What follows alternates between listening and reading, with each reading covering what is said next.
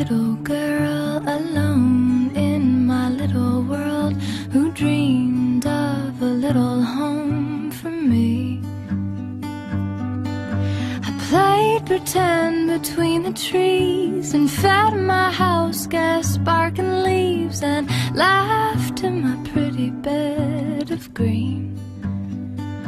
I had a dream that I could fly from